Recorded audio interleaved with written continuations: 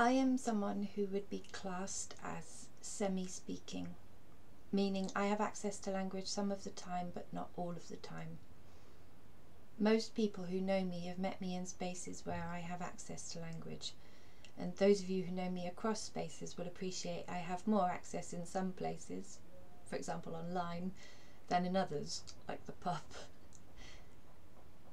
Very few people have seen me when I do not have access to language. I like being articulate.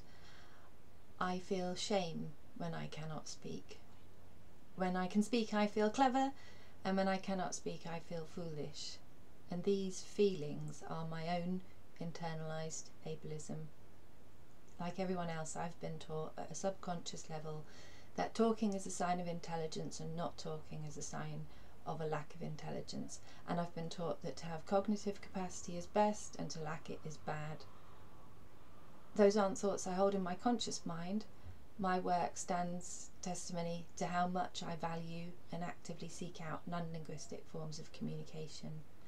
I work for people with profound intellectual and multiple disabilities and so that seeking out of non-linguistic forms of communication can seem like it's something I do for them but the value it holds to me is personal because in spaces where words are not essential I would always be welcome.